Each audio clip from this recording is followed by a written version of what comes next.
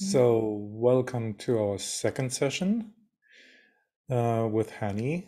We had uh, the previous session was kind of the introduction. We discussed several topics that were interconnected, but it was not quite clear yet how they are connected. In my memory, in my understanding, um, you started with uh, basically describing that you feel isolated, you often feel alone, uh, that there is um, a lack of sense of purpose, um, and instead rather a sense of floating. Uh, so that seems to be connected with not having the support system that you're longing for. And then we, when we explored further, there was there emerged kind of a, a biographical theme out of that when you mentioned that um, probably one of the sources of that is uh, that you lacked a support system from the times when you were young, even, mm-hmm. and that your parents couldn't give you the support system that a child needed. And that from the time on, or at that time, you started to uh, to self control, to self control in order to have something to control, in contrast to the parental system that was um, uh, insecure and unstable, mm-hmm. and you didn't know uh, exactly when there was a time to be concerned and afraid of, and when it was safe. So you described that uh, as a re- response to that high uncertainty uh, in the parental system that you started to control yourself and one way of controlling yourself seems to have been um, a certain kind of sadness and yeah. a kind of gravitating towards that. I'm not sure maybe as a response to insecure surroundings again now we leave the parental system and go into mm-hmm. teenage and, and, older years. Um, and then as a kind of as um as an attempt to maybe bring about a small change or more understanding to the system, I suggested a twofold uh, exercises. Uh, one to consciously let go of uh, the self-control in experimental time frames. So in times when you practice meditation or breathing or journaling, to practice as far as possible, of course, uh, a conscious letting go of the self-control and the second one because i had kind of an intuition that there is a lack of love in the system and mostly self-love um, mm-hmm. to see and what comes around when you practice the intent a very specific intent of self-care and self-love um, and to plant that as a seed this intent and to see how your system reacts to that now, I know when I give such um, suggestions or assignments, I don't expect people to fully you know, comply with that. I'm just interested in what you know, what came about. Uh, if if it turned to something else, if you had other insights, uh, if you could maybe still practice uh, some of those things. So this is where I would like to start with those exercises and and see uh, if there was any difference there or any insight? Uh, and then I would like to expand kind of on the understanding of how those different topics uh, of sadness, loneliness, and self control, how they connect. hmm Um, yeah, it was a bit hard um, for me with the, I guess, the exercises. Mm-hmm. Um,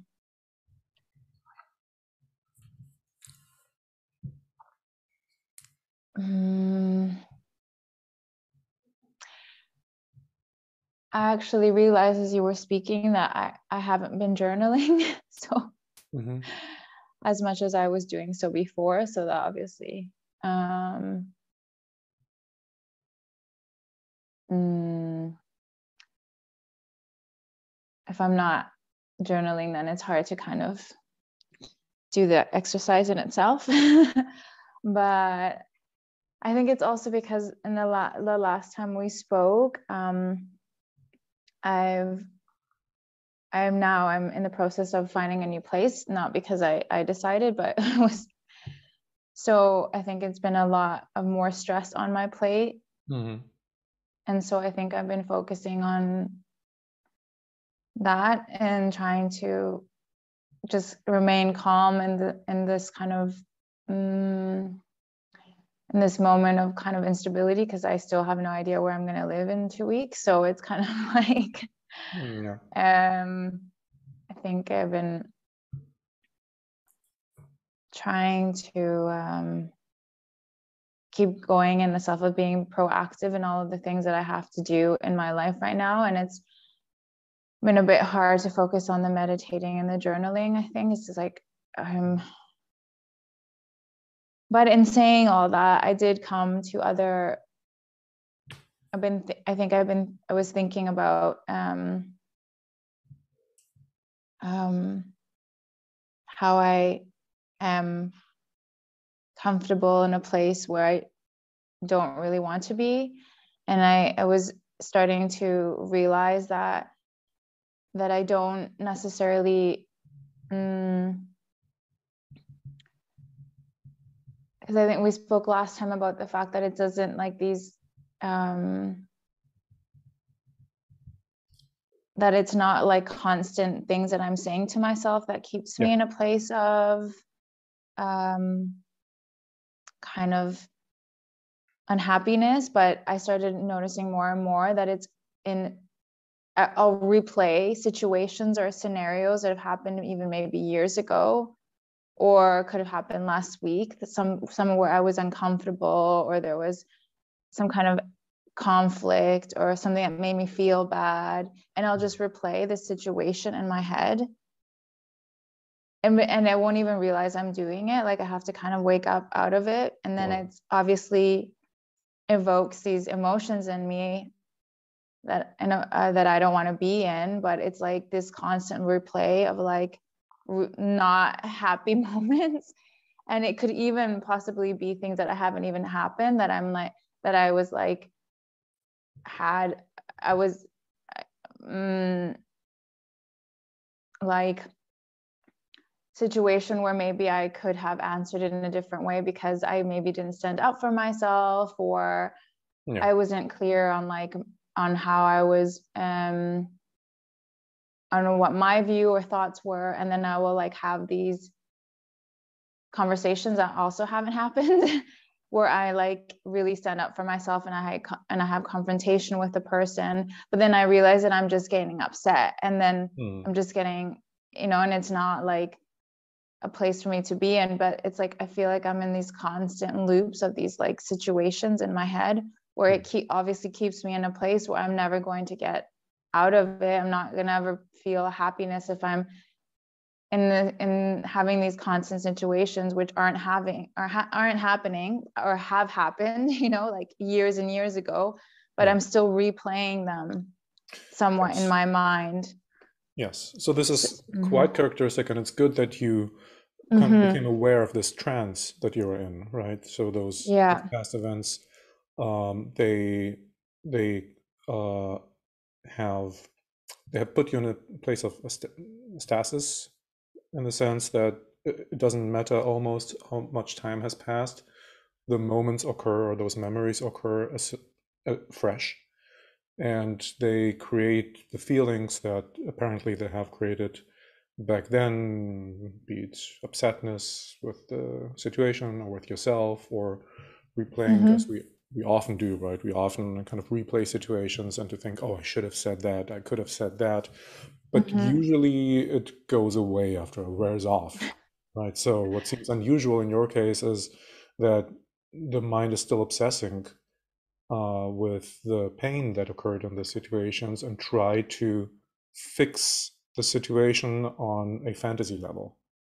I, I, I could have said that, I should have said that, as if that that as if that would change something, but in fact, it doesn't, right? It still repeats itself. No, I mean, I, and sometimes it's not even that I get to that point of having that conversation where, like, for example, I'm standing up for myself. It could just be I'm replaying that situation where I was uncomfortable or, yeah. you know, it wasn't something happened where it just and it will loop for days and sometimes i'm realizing that these this situation happened months ago and it's still like constantly in my and it makes me feel awful. Like it makes me have anxiety it makes me get upset and i'm just like and i'm i think obviously it's very hard to like feel anything else if you're constantly in this like state of always having being in these stories of the narratives are all, all mm-hmm. like they're they're not positive feelings. So it's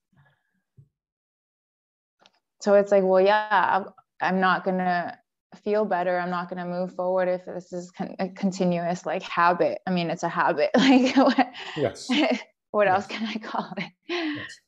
so here, in some sense I, sorry yeah mm-hmm. in some sense i was gonna say that uh, maybe it's even like a, an addiction like that it's something you don't want but you continuously just keep going towards it's like yes. what i don't understand but uh, exactly yeah. so when we look at it from the perspective of our conscious being it doesn't make much sense right mm-hmm. even more so because there seems to be a strong imbalance it's not that yeah. kind of positive events pop up in our head as kind of automatically and then we just indulge in them and enjoy ourselves and so on. It seems to be, of course, positive events also come up, but uh, there seems to be a favor of the system to remind us of difficult uh, experiences yeah. and to replace those, to replay those. And that seem, doesn't seem to make much sense on a conscious level because, as you say, it just makes us suffer. It just makes us uncomfortable yeah. and bad and so on. So let's try to re kind of to understand it more from mm-hmm. an unconscious level put yourself in the position of that voice that comes up again and again right and there are patterns because it's not just one situation there are several situations and they seem to be similar in the sense that they make you feel in a similar way they take energy away they upset you they make you sad and so yeah. on so put yourself in the position from where this is coming from and voice what is the intent of that? What does it want, this voice? It wants something from you. It, there is an expectation there, right? Because this is how you respond. You try to act on it in a certain way. What does it want? It doesn't want you to be happy. It wants something else. What else does it want? yeah, it does not want me to be happy. That's for sure. Um, oh, I don't. It's can you bring up a certain memory like that? You know, this thing that comes up again and again. Yeah, I mean, the thing that I can, I I think that for me, I can relate it to being a child and being around a parent that was very negative and constantly saying negative things and criticizing me, hmm. and and I don't I don't know if it was that I've just learned that pattern and and instead of having somebody else on the outside say that to you it's kind of now like now I've just taken it on and now I say it to myself in the but in the sense of situations not actually saying like oh you're this or you're that or you don't do this right or but it's I mean I don't know it's just it's very like it's, it's i think it's just hard for me to connect to happy feelings. It's and but before we come to the happy feelings can you mm-hmm. describe more yeah. what is actually happening in your mind? So you say yes it's not phrases. So last time you mentioned it's more like a feeling. It's more like a weight a weight that is on mm. your mind. Can you describe more how it manifests usually? And in contrast to that how in the past week or so you saw that there is actually story sometimes behind that behind yeah what seemed to be a vague feeling i think it's that i think it's that i am in the in this constant loop of just like bad scenarios that sometimes i don't even realize that i'm telling like i'm in it my brain is in a story because mm-hmm. i'm just feeling the emotion until it's like really replaying vividly because i've noticed that when I wake up, I wake up, I'm already feeling very nervous and anxious, even though I may not have had any bad dreams. But I'm already, I, I open my eyes and that I'm already in this story. Yes. Yes. So it's, it's, Uh, give me an example of that story. What could that be? What kind of situation is that? Oh gosh. Um mm,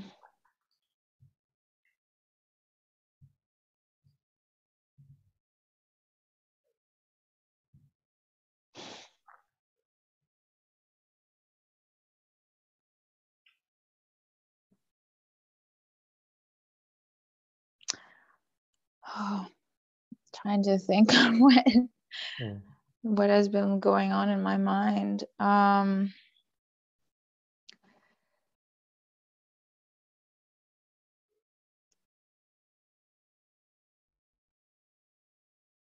mm,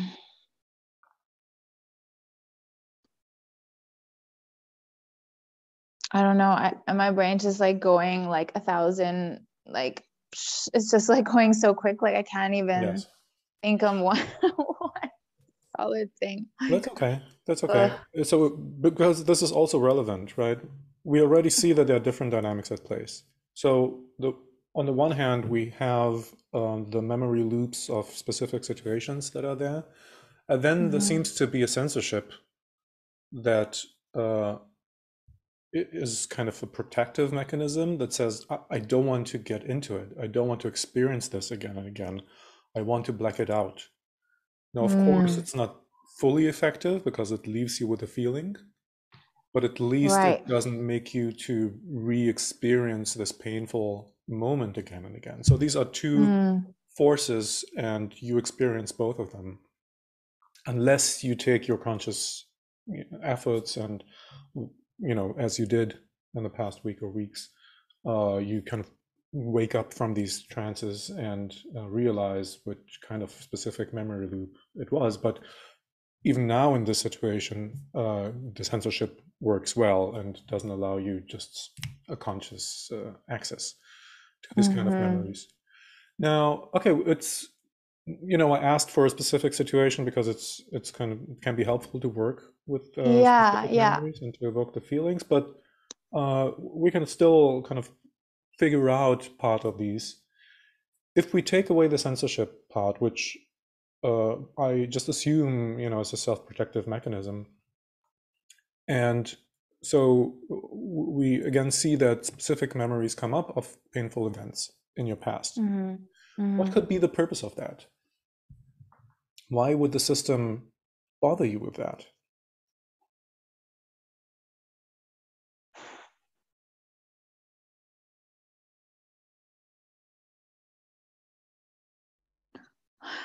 To be honest, I'm I I don't I can't come up with like a clear answer to that because Mhm. it's like I'm trying I've been trying to um,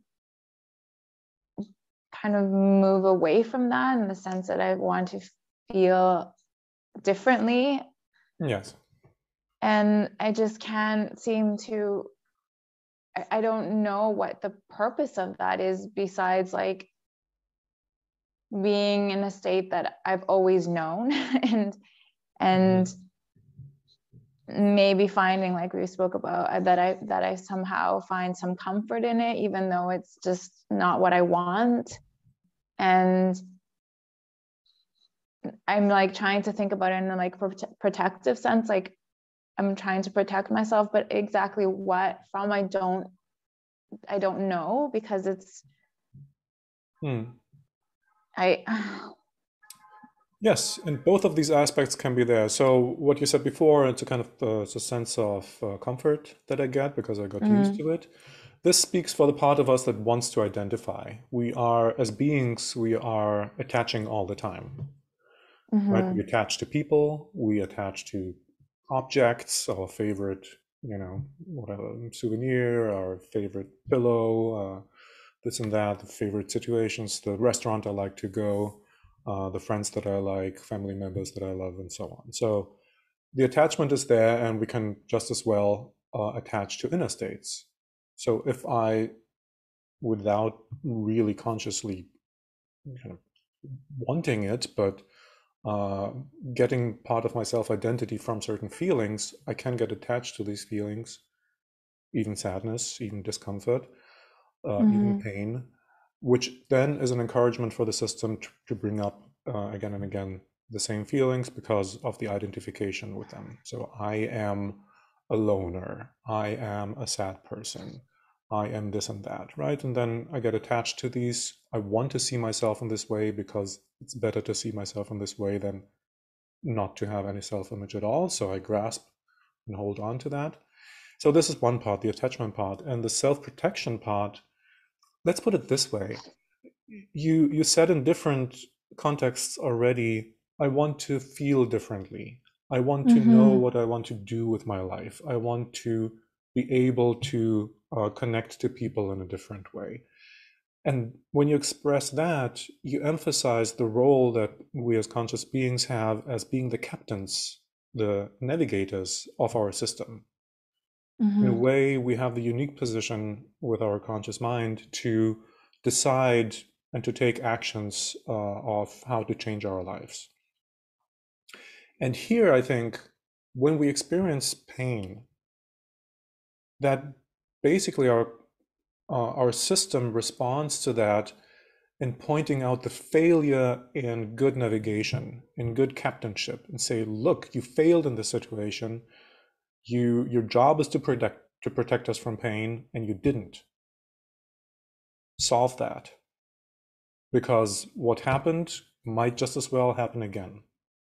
Mm-hmm. You are responsible for protecting us, us meaning kind of your, your, conscious being, but also the whole organism. And in that sense, and I wonder uh, how you think and feel about that, it would make sense to me that the loop is going on. If mm-hmm. the unconscious thinks she still hasn't taken care of this, we still don't feel safe that when a similar situation occurs, she would know what to do.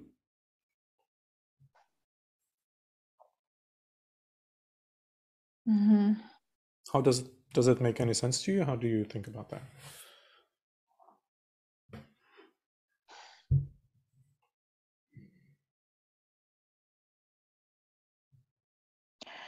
Yeah, I mean, I understand what you're saying, but I think it's a bit hard for me to understand why I would continuously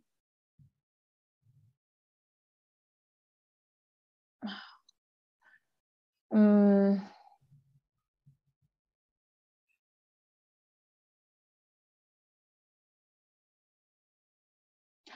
I don't know because I feel like there's two sides of me. Like I, I feel like well, obviously as people we always have different sides, but it, I feel like I'm also always constantly trying to improve and change and and be proactive. And then it's like, and then I don't. It's like I think it's unclear to me how these two things fit when I'm mm-hmm.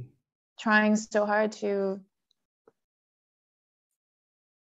I don't know. So it's, it's very it's a bit confusing to me in a sense. Like yes, I feel like there's like an inner conflict of these things because then also like when you were saying, oh, like for example, oh, I'm a sad person or I'm alone and this, and it's like it's trying to think, do I think about like myself in that way? And I would not I would not describe ever mm-hmm. like I wouldn't describe myself that way. I would say, oh, I'm a positive person, very happy.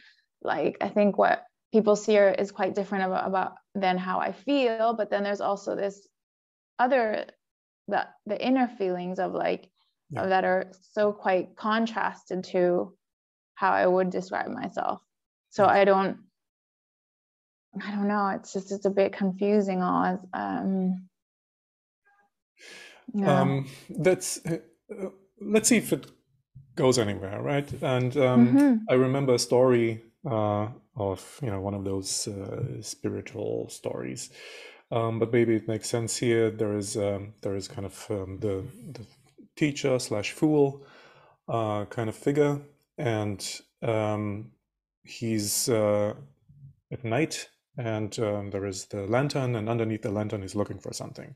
Disciple comes along and asks the teacher, "Teacher, can I help you? Are you looking for something?" The teacher says, "Yes, I'm looking for the key for the house." So he starts, the disciple helps along with uh, searching and so on. Eventually, there is nothing to find. I ask him, Are you sure you lost the key here? And the teacher says, No, I didn't lose the key here. but here there's light. Mm. Um, and what I try to highlight with that is when we attempt to improve our lives, when we try to uh, get better in certain fields, be it in relationships or just with ourselves, it might be that sometimes we go to the areas that at least we know how to operate, how to do these improvements, but it not, might not be where the discomfort is actually coming from or not exactly where it's coming from. Mm. Right. So mm-hmm. Often enough, you know, in therapy, I, I also recommend to people when they're in stress and uh, depressed or anxious and so on to do sports, right? Because sport, exhausting oneself physically has similar effect as, effect as sauna or massage. It brings kind of the muscle tone down and helps us to get a little bit of relief. But this is not where yeah. the issue is from. It's kind of a crutch yeah. to help us along. Now, you mm-hmm. do more uh, fundamental things in your self development, but my question is is it possible that through accessing those uh, loop memories, you might discover what where kind of fundamentally the key was lost, so to speak, and mm-hmm. to have a precise understanding of what could be necessary to be done. Uh, and that would take away the pressure. Um, and sometimes it doesn't need to be much different. So it could be that you already understood a lot and kind of worked on that, but the that the sense of um, insecurity and the unconscious sense that you're not steering the ship well might come from the residue that has not yet been realized, and that there's still this sense of danger that a similar situation might occur. So this is just a suggestion from me, uh, and I'm interested mm-hmm. to just reflect on that. I'm not saying that this is how it is, but um, just taking into account that the censorship is working so well, kind of my instinct would say that there are yet unrealized aspects that are still frightening, that are still threatening in those memories, and that this kind of the censor part of your mind decides that it's too uncomfortable to realize it yet. Yeah. I mean, that would make sense because there are definitely, and I mean, may, this is just what I'm was coming to mind right now with what you're mm. saying, but there's definitely certain situations or or sounds I hear or um, mm, that will mm, that will just put me in a state of so uncomfortable and anxiety and panic hmm. and i don't know from where it comes from like i don't um and i keep and i and i have thought about it that maybe there is something that i'm still it's not obviously clear to me what it is but there's some my body is somewhat reacting and protecting me but i don't know exactly hmm. from where it stems mm-hmm. from. Yes. Yeah. Yes. So for that obviously it would be interesting to continue what you already started as a practice basically to become aware of to to take the um, the vague feeling uh, of discomfort, sadness, whatever it is, and to use that as the thread to um, reconnect with the situation that is on loop, right? And to, in this case, really to document those situations so that they don't slip away again. So to do this again and again, what you did already, what you started doing, and to remember as many as possible, not to remember, but to retrieve the situations that are behind those feelings, that create those more vague feelings, and to have a, kind of a basic set of situations that then you could go into and you know can replay them more consciously to connect with how you felt back then and where the sense of danger came from from which aspect of this memory.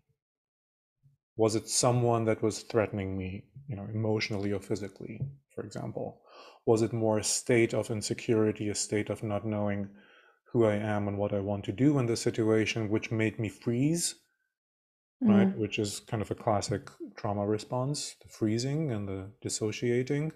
So, and that this freezing was experienced as kind of super painful and difficult to take because I was helpless. I didn't see any alternative. I I, I didn't know what to do.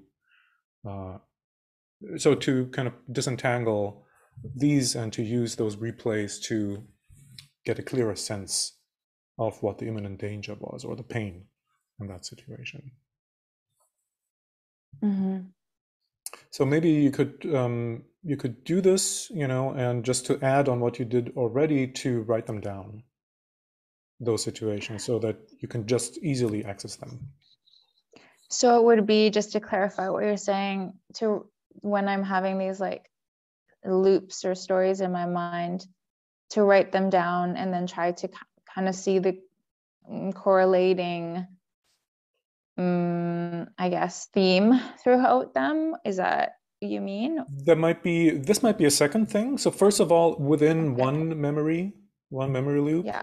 to put myself in the position of, okay, what did I actually feel back then? What is the uncomfortable thing there? Uh, and it might be that, you know, a certain sound or a certain situation, but behind that there is an, a scene, right? Mm-hmm. So it's not just I don't know, the popping of a balloon, but the popping of a balloon was, was at a birthday party where something really uncomfortable happened. Like none, none of my friends showed up, you know, or something like that. So that it would reveal a kind of bigger part of the story. And then if there is a trend, if there is a pattern across several of those memories, then it would emerge by itself. Then mm. you know, we mm. don't have to actively search for the pattern. It will show itself if it's again and again a very similar thing. Yeah, and you, you, I mean, writing it down is a possibility. Of course, you know, drawing a situation is very evocative and helpful. Uh, you can just, you know, if if you're in a hurry or something and you don't have the time to write an elaborate situation, you just voice record it on your phone, but just to have it somewhere so that you can easily access it when you need to, when you have more time. Mm. Okay, does it make sense to you that that might be worthwhile?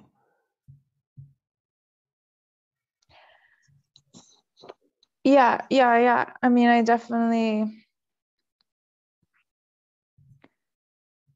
I mean, I think it would provide more clarity as to what what it what the underlying, I guess, Hmm. situation is. Is there, how do you feel about attempting this?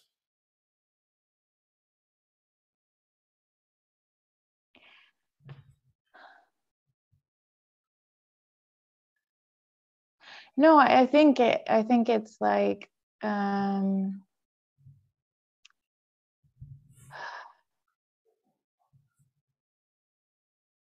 mm,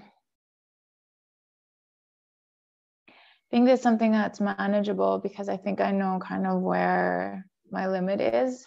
Mm-hmm. The sense of like, okay, I need to, I can't continue. Um, or um,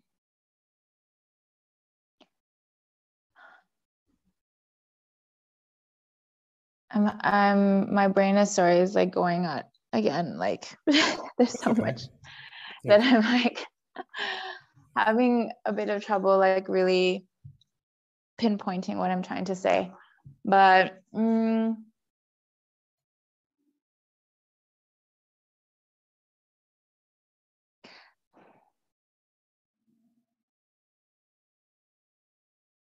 I think it's like what I'm thinking right now is that I, I think a lot of um, a lot of these um,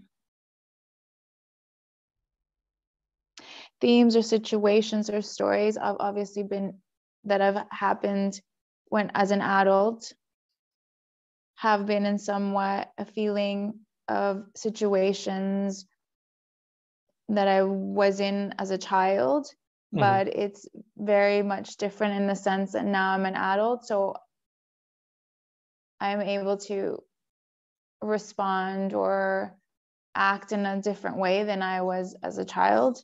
Yes. But in some sense, I'm still going back to that feeling.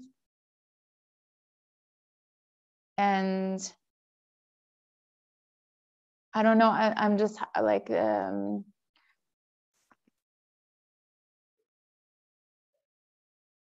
uh, I don't know, just, but it's just, uh, mm, I think I'm just, I understand that it's d- two different things in some sense. Like I understand being a child and not being, in some sense, able to take care of the situation because as a child it is very different, obviously, as an adult. Mm-hmm. But it's just, I, it's just very, I guess, frustrating in some sense that it's like I'm still living in that Yes. Those moments in some sense. Yes. So if I may to try to describe a couple of phenomena that, that sure. I know is mm. so for example, we talk about loop situations like these, right? Yeah. So often enough, uh, something is on loop that is not from my early childhood, that is, you know, like you already hinted at a month ago mm-hmm. or three months ago, and this might up, mm-hmm. Uh, come up again and again, as if that was a huge event, right? As we are organized unconsciously, it doesn't have to, it might contain a similar theme as something that happened again and again in the past, but it just resurfaces as a loop of a situation that occurred previously, long, not long time ago. So what we are trying to access is a certain theme of helplessness or aggression or pain or whatever these those typical situations that create those loop memories. So we try to create uh, an, uh, an, access to this theme knowing that probably it stands for many things that happened before and probably for kind of constellations and situations that happened when i was a, a young child teenager teenager. But we don't have to necessarily access those super early memories these are difficult to retrieve, but we can assume that the theme resurfaces in this thing that is the actual loop, which happened only a month ago, two, three months ago. Mm-hmm. Um, so that's a, a, valid kind of working hypothesis. I can work on these themes, insufficiency, of, you know, self-criticism, all of these things, uh, on a recent event, knowing that it's probably connected in more deeper tissues with a chain of events that you know stands for the similar theme.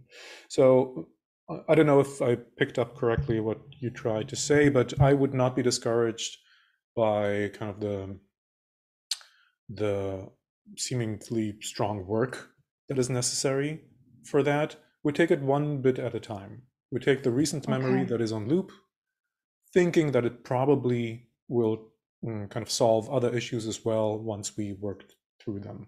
Or it might bring up other memories that stand behind that. But I would not be discouraged by you know the vastness, the potential vastness of it.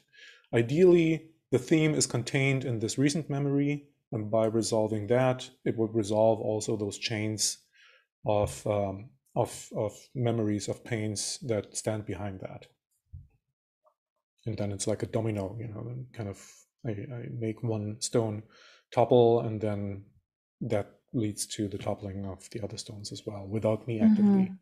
doing something necessarily about it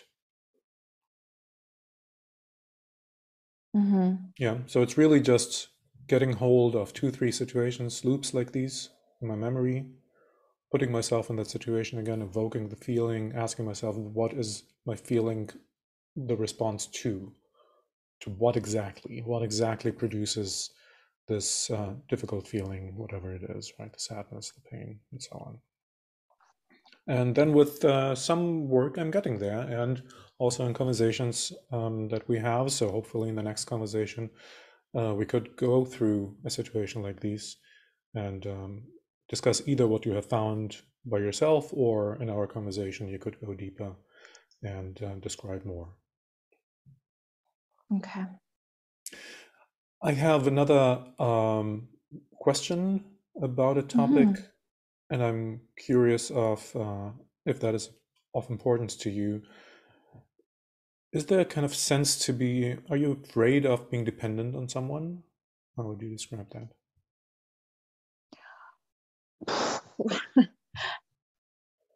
I just I don't think that I don't think I know how to be.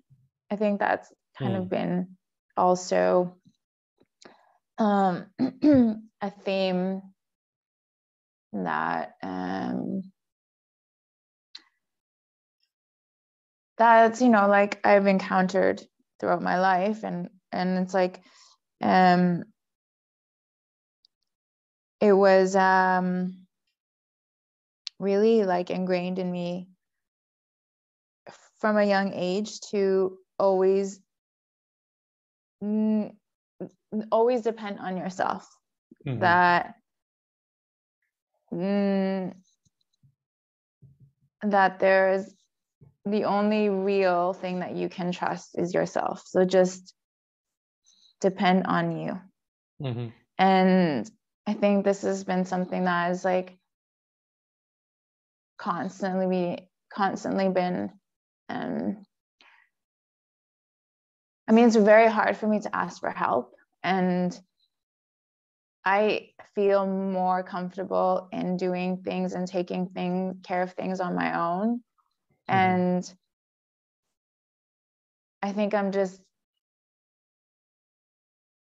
and i just i just feel more comfortable just relying on myself Mhm. and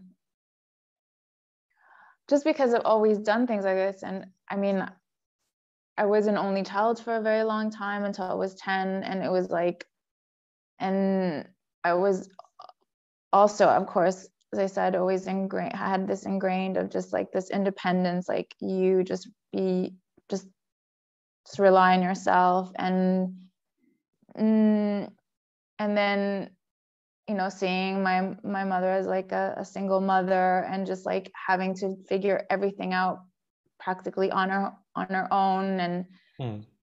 it's just been like and i mean and then also throughout the years like have been trying to be more open in the sense that it's okay to rely on people and get help from people and Mhm. um and then in some sense some sometimes being disappointed you know that Yeah. So Uh, yeah, so many I things mean- that you described, they Mhm. are normal. It's good to be independent. It's good to have a sense of self-efficacy, of Mm. course. Um, luckily, we have now a generation where women are more independent yeah um, than the past. So I'm certainly not advocating, you know, to go back to a state of kind of being dependent on other people. Hmm My question is, it goes in the direction Mm. of how do I, what is the quality of the theme for you? Because on the one hand, I can be positive, I can have a positive quality of independence, right? Which allows for some flexibility, realizing where my limitations are, and then when necessary, setting up the conditions for asking people for help. Of course, the right Mhm. people, of course, people Mhm. that are, are kind of trustworthy. Mhm. Uh, so this would be a positive spin on the theme of independence and um, avoiding situations where I overly depend on other people. On the other hand, I can dread dependence because dependence in the past created horrible situations for me. Maybe not Yeah. objectively, but it felt I was very vulnerable, and this vulnerability was then met with rejection or with disappointment. And then out of that emerged, you know, a theme of I will never let that happen again. I want to be independent. I don't want some uh, whatever jerks people taking advantage of me or not responding with help when I need to. And then it kind of leaves this positive quality, becomes more rigid, and with a Mm. certain kind of dread, which, for example, makes it difficult for me to open up at all to other people because Mhm. I don't want them to have access to vulnerability that they could misuse, or that the vulnerability that I would develop in such opening up would automatically make me gravitate emotionally to those people and wanting to connect and reaching out, deepening the friendship, and then to meet again and again with a rejection because I opened up and became vulnerable would feel so much more hurtful. So I could avoid that um, strongly uh, so that that doesn't happen. And then it becomes, like I said, unhealthy and too rigid. And not representing uh, a fair estimate of the possibilities that are around me, not giving the people around me a real chance, but just blocking myself off of that. And then, of course, that does something with me. It makes me closed off, it makes me rigid. So, what I guess I'm trying to understand is where on the spectrum are you? Do you sometimes fluctuate, or is it a rigidity? No, I think that I I do um, fluctuate. Um, but I do think that it, it I, I don't see as a positive thing to have to reach out to people or mm-hmm. ask for help or like even really open up to friends. It takes me like a, it takes me a long time. And it doesn't feel like a positive thing. It's kind of like oh i'm in such a shitty state that mm, i need to kind of get support because i don't even know how to manage this on my own or mm-hmm. or that i need another opinion because i don't even like i i don't know how to figure it out on my own so yeah. it's and and i think that and saying that i mean i'm just i think for me it's also been a hard thing because it's like if I couldn't really even be dependent on my own parents, it's like I was already, I already, that was already something that was ingrained in me. It was like already had to be very self sufficient, you know? Yeah. So it's just like, it's, it's just how I am, I guess, is because it's always been that way. Mm-hmm. But in mm-hmm. the other sense, it's, I do want to connect to with other people and I do want to be able to feel it's okay to be open and ask for help and but it, it doesn't come like um it's not a positive feeling mm-hmm. when it needs to happen and yes yeah. and that is a missed opportunity i mean I, there are certainly mm-hmm. situations mm-hmm. where it kind of it becomes really uncomfortable like for example just to ask people for money is super uncomfortable right yeah uh, or in other you know major things um, so there is a validity there but uh, what is a shame is that kind of reaching out to people is also a means to connect with them to allow yeah. someone to help me and to be supportive is also a gift because exactly because I'm opening up and I'm kind of showing a more vulnerable side. And for someone on the other side who is longing for that, you know, friend or potential friend or potential partner who is looking for all these signs because they want to support you, that would be a shame if the situation never comes up because there's an inner longing for connection. And then on your side, it would be kind of a rejection of that need of the other to to support you, to reach out for you, to look out for you, and so on. And here again, yeah. the ideal is the mix. It's not to be constantly, you know. Yeah, taking, of course. Right. It's always yeah. always the give and take that makes the magic in in good relationships. Yeah, of course. Which, I guess you don't have big problems with that. That's just my assumption that you don't have a big problem with uh, supporting people if they ask you? No, for me, I think that's the other thing is that I'm like a very, very, in that sense, um, giving person that mm-hmm. if my friends need help or they need to talk or they need, you know, anything that I'm able to help with, support with, like I feel like that's that's who I am as a person. But hmm. on the other hand, it's not it's not easy for me to to be on to the, ask for that. Side. Yeah. Yes. Yeah, yeah, yeah. But, but that means that you know the joy of it as well. I mean, sometimes it's a burden, yes, but there's often enough in people who have practice with that and practice of giving mm. and supporting there is the quality of joy that comes with that. Joy maybe is the wrong word, but it's kind of it's satisfying to be able to give that. Mm-hmm. Right. So what I suggest is imagine that you're on the other side. You can give this joy to other people, this joy, this satisfaction to other people around you as well, to the friends who deserve this trust, and not to keep it from them of through an um, kind of misunderstood, exaggerated feeling of self-sufficiency. Keeping that, keeping them from experiencing the satisfaction of supporting you. Yeah. Right, the feeling that you know so well. Mm-hmm. So this is interesting for me because it might play into the situations that are in loop. Mm. Um, because usually there are a couple of aspects there that make me suspect that there's a possible connection. Usually, when we are on loop, uh, kind of negative loops in our mind, we replay past situations and we replay past situations which put us into a childlike position Mm. of inactivity or of helplessness. And this, especially as adults, makes us super uncomfortable. As children, we are constantly in this place as children. Yeah. But as adults, for example, by you know a boss or by someone of authority to to be put in a place Yeah. where no, you shut up, you cannot do anything right now, and to be in this helpless helpless place, that is very uncomfortable. Puts us into a childlike state, and the childlike state is characterized by complete dependence on the surrounding.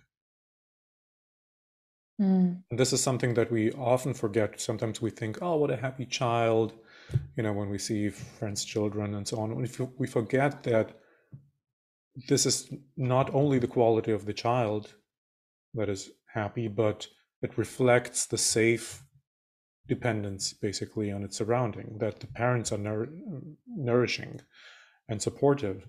Put the same child, uh, you know, into a mall and it's lost this child becomes super insecure because the thing that stabilizes the child uh, is gone. And you know the worst examples is look at street children.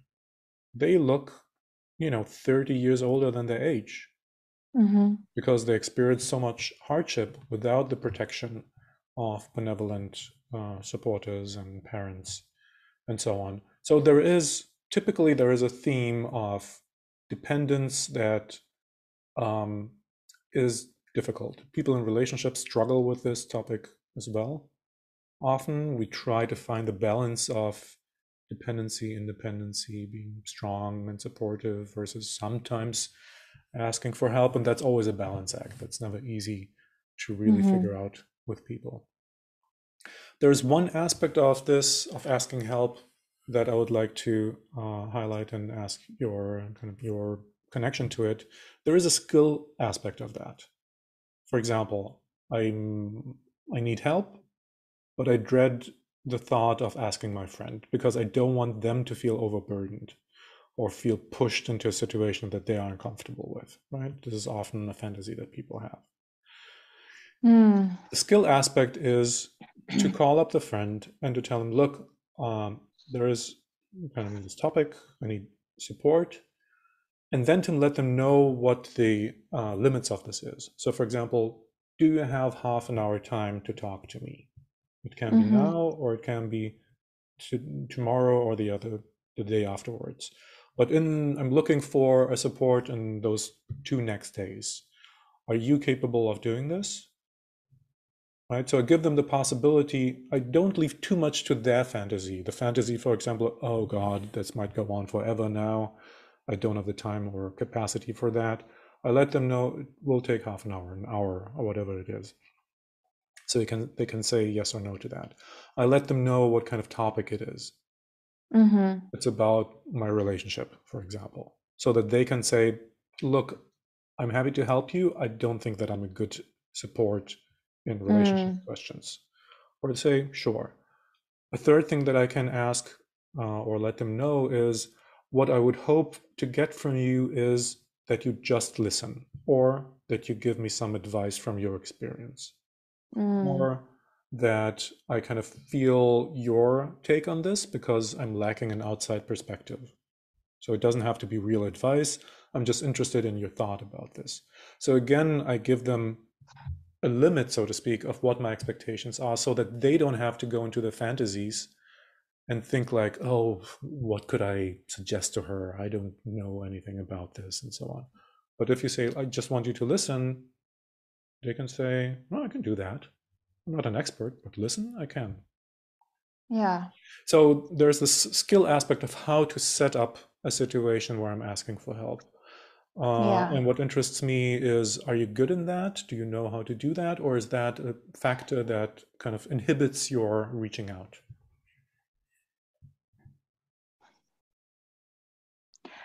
Um, I think half of it, half of what you're saying in that skill I've used before, maybe not, maybe not in the the timing that oh, can I have you know mm-hmm. maybe half an hour or maybe and also in the other sense that oh maybe I just need someone to listen to me. I think that when I reach out to people, it's usually like, I'm really sorry to bother you. That's mm-hmm. usually how I start things. Yeah. Really sorry to bother you. Um, but um, I have a question or and or I need some advice. Would you be able to speak this evening about mm-hmm. blah blah blah? And um, sometimes it's been, you know, I have some friends that will be like, yeah, of course. And then there's been other friends that I think maybe I've left it too open where I mm. haven't received a response in like two or three weeks. And then like, oh, I forgot to respond to you. And then because I've left it up whenever you have time. so it's like, yeah. well, but then it's so maybe in a sense of providing maybe a time limit or mm, I don't know, may, maybe also they were imagined that because it's such a big topic that we'd be talking all afternoon and I was looking for someone to really like be a therapist or I don't know, for example, I don't know what's yes. going on in there. Yes. What what their experience has been because maybe I don't know. Everyone has their own experience with things. So mm-hmm. but mm, yeah, I mean, I, I think definitely taking into account what you've said with these other, I guess, the skill in asking. Yes, yes. Something that I will definitely take into account. Um, and I think that also, I think that I always look, think that or see asking for help as like a burden on someone that I'm already apologizing when I'm asking mm. for help and and I'm also leaving it very open so that they can kind of tell me what's good for them. Mm-hmm. That sometimes maybe I need to I don't know and see it I, I don't know may um maybe put a bit more of um oh what am i trying to say not leave it so open so that yes. yeah yes and also to open up to the possibility that asking for help is not a negative thing is not a burden mm-hmm. necessarily but rather to contribute as much as you can for it to be a positive experience for both you and the one that you're asking help from because you know, as we said before, it could be a chance for them to finally support you, something that they might be longing for, or just deepen the relationship. It's not a burden. Sorry to burden you. Mm-hmm. Right? There are conditions that make it a burden. For example, if I'm left to my own fantasies of how I'm, uh, how much time, how much resources it needs from me. Right? Yeah. If I kind of exposed to these negative fantasies, I might already, just when you mentioned that, do you have time? I have an issue that I would like to discuss with you. I'm left to those fantasies. And then maybe mm-hmm. I had negative fantasies in the past with other people. And the mistake would be not to give them a clear framework. Right. And this is something that you can provide to turn this experience into something potentially positive, or at least to give them the chance to say no. Yeah. Right, and then they might say, I have too much on my mind, I don't have the capacity, or I'm not an expert, or whatever they say. Uh, but it will not be a kind of an, a complete rejection, and it will not feel like a complete rejection because you gave them the parameters, so to speak, of the help situation. Okay, I'm interested uh, coming to the end. How do you feel right now? Mm. I feel better. I feel like, and maybe like midway of, of talking today, I was feeling a bit like, um, that I was starting to feel like I wasn't connected in the conversation anymore. Mm-hmm. And I mm-hmm. think it's just because of the topics we were talking about and um, that it was like I was having trouble really understanding what you were saying to me and also making understanding also like how I wanted to express myself or explain. Mm-hmm. But I think that now we've changed it. We kind of changed the topic a bit at the end in yeah. some sense that I feel more connected. And I think that um, maybe that this was that it was easier for me to like understand how I could manage this mm-hmm. new task i guess at the and i guess with the other i was still kind of confused as to how i could or i don't know maybe i was also just protecting myself and i was just like starting to get disconnected in the conversation but mm-hmm. um yeah i mean i think there's things to like think about and definitely and yes. try to somewhat come to some understanding of what's really going on and i don't slowly yeah.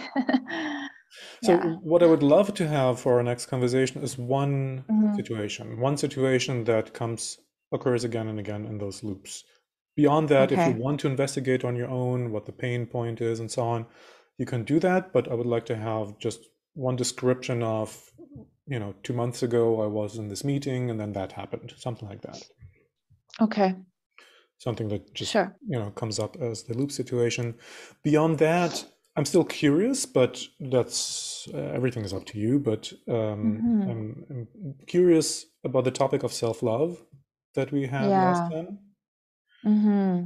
uh, and maybe that you reflect on it or that you do indeed a certain meditation where you you know plant those seeds of self-love and see what happens i'm just curious you know to get a yeah. full understanding of you of the place of self-care and self-love if there is something that is um, needs more attention and then yeah, of course sure.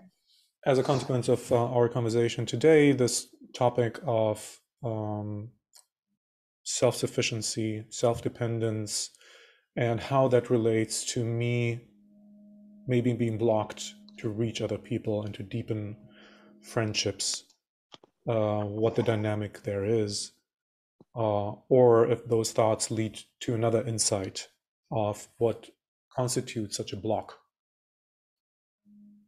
that right. makes it difficult for me to um, to get the quality in the friendships that I have that I'm yearning for.